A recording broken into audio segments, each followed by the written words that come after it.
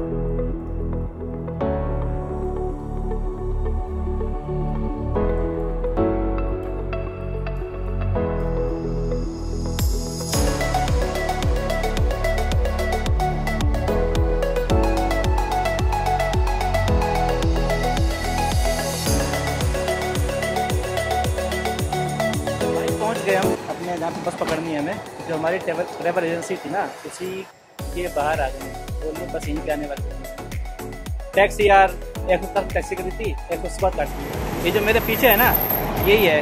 यहीं से बस बुक कराई थी हमने। लगता यही बस है हमारी। आ तो गई है अभी भी।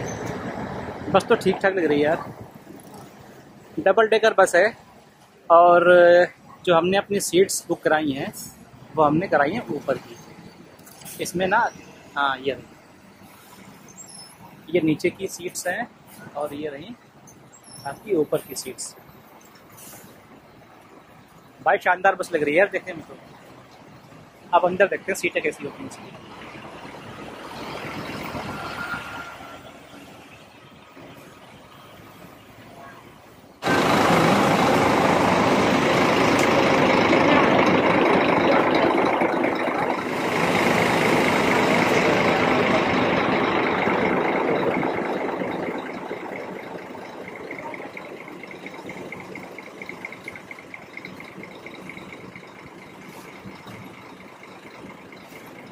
भाई बोर्डिंग हो गई शुरू, और ये ऊपर का रास्ता। ये बने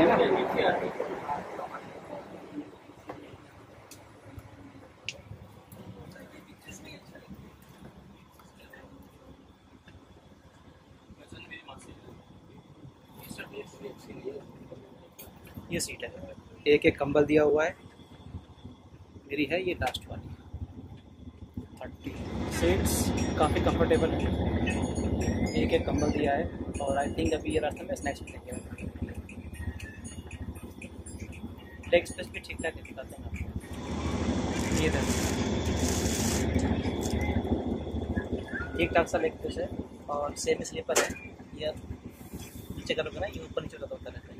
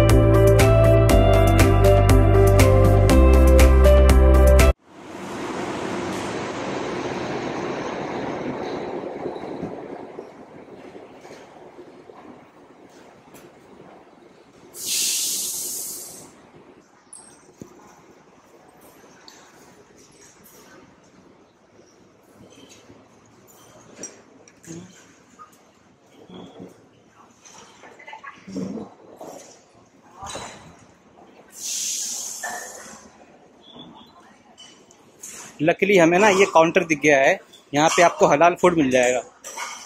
अगर आपको हलाल फ़ूड खाना है तो ये जो सारे ऑप्शंस है ना,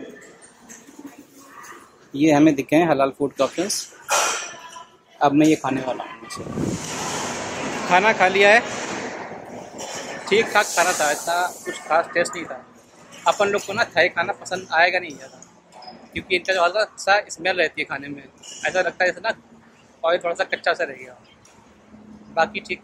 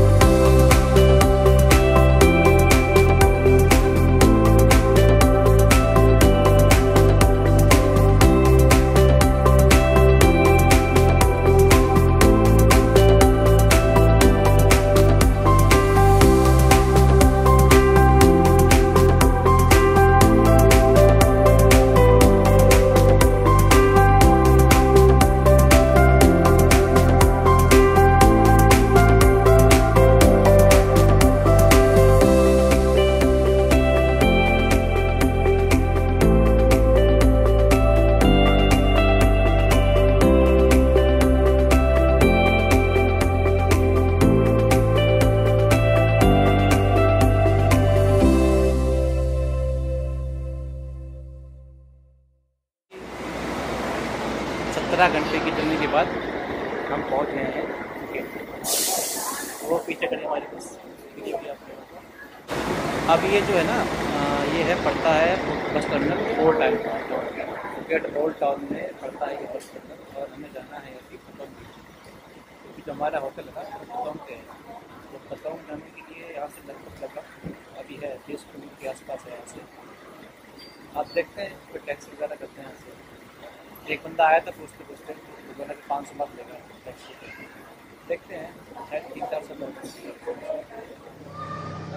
हाँ जी तो होटल पहुँच गए हम। एक्चुअली वहाँ पे जो प्रॉब्लम हो गई थी बस स्टैंड पे प्रॉब्लम ये होगी कि मैं था अकेला और वहाँ पे जो पैसे मांग रहे थे, पाँच सौ बात मांग रहे थे टैक्सी के, हमारे होटल तक, जो कि है पतोंग बीच पे। और जो बस स्टैंड था वो पड़ता है फुकेट टाउन में। वहाँ से जो टोटल डिस्टेंस थी हमारे होटल की वो थी तकरीबन तकरीबन पंद्रह सोलह किलोमीटर के आसपास। और पाँच सौ बात मांगा थे टैक्सी वाले। तो वहाँ पर दो लोग हमें और मिल गए थे इंडियंस थे वो।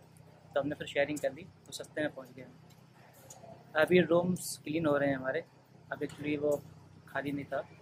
कोई यहाँ पे ऑलरेडी गेस्ट रह रहे थे वहाँ पे। तब खाली कर दिया उन्होंने। तो जो मेरा रूम है क्लीन हो रहा है। अभी चेक इन हो जाएगा मेरा, जैसे ब्रेकफास्ट कर लिया है हमने। बहुत ही सस्ता होटल पड़ा हमें ये। मैं दिखाऊँगा आपको। इसका नाम है होटल का अमाता पतोंग। बहुत ही शानदार होटल है। और जो मैंने बुक किया था, ये बुक किया है पर डे का तेरह सौ रुपये में।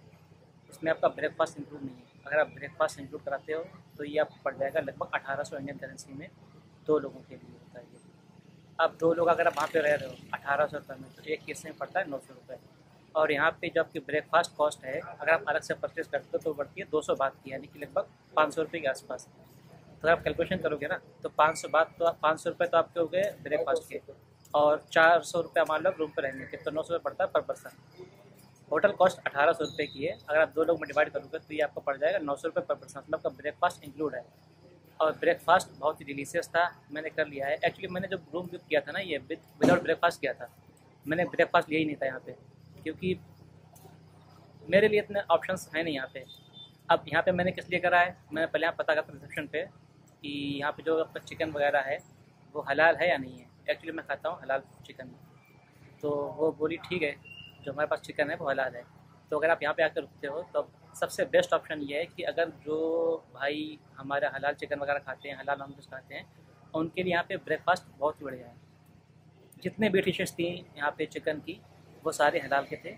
उसके अलावा और भी ऑप्शंस हैं। मल्टीपल टाइप के ऑमलेट मिल जाएँगे आपको। हाफ़ फ्राई लेना है या फिर स्क्रम्बल लेग लेना है चीज़ ऑमलेट लेना है बटर है। दो तीन तो इंडियन सब्ज़ी भी थी। दाल भी थी यहाँ पे, आलू गोभी की सब्ज़ी भी थी यहाँ पे। तो ब्रेकफास्ट बहुत ही शानदार था, बहुत ही डिलीशियस था। अब मुझे ऐसा लग रहा है कि हमारा रूम क्लीन हो गया होगा। आप चलते हैं रूम पे। आपको थोड़ा दिखाऊँगा मैं यहाँ पे। होटल कैसा है और रूम कैसे है हमारा?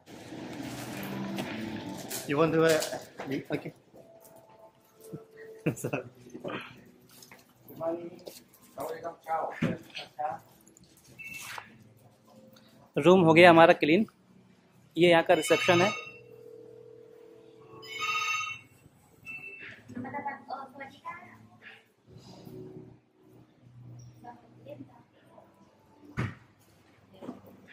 टोटल तीन बिल्डिंग है इनकी. एक बिल्डिंग तो ये रही सामने.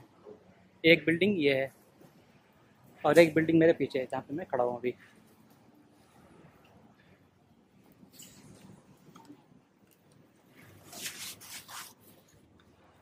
एक ये बिल्डिंग रही।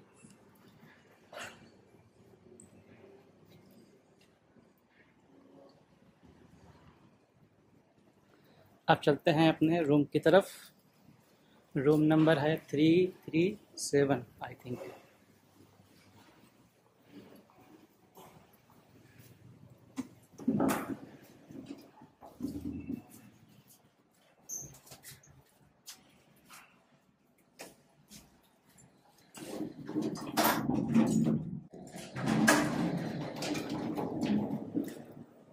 Room number three three seven आपका पड़ेगा इस side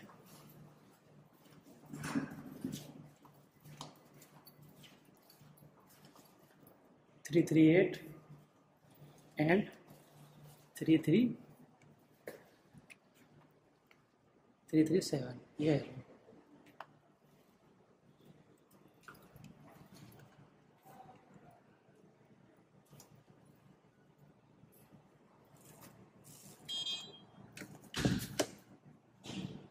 O sorry three three eight था।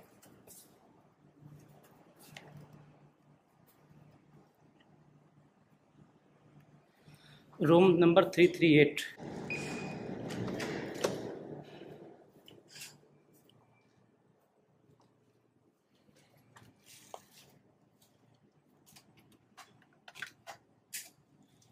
card लगाओगे लाइट आ जाएगी।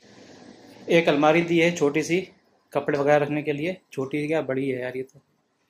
एक ये सेफ़ सेफ़ बॉक्स दिया हुआ है पैसे रखने के लिए पासपोर्ट रखने के लिए। ये रहा आपका टॉयलेट क्या हो गया? टीवी चल गई अपने आप। छोटा सा मिरर हेयर ड्रायर एक डबल बेड और एक सबसे प्यारी चीज़। छोटी सी बालकनी। कोई व्यू नहीं यहाँ से, लेकिन ठीक है यार। जितने में रूम लिया, उतने में क्या चाहिए एक छोटा सा refrigerator two bottles complimentary is day tea coffee complimentary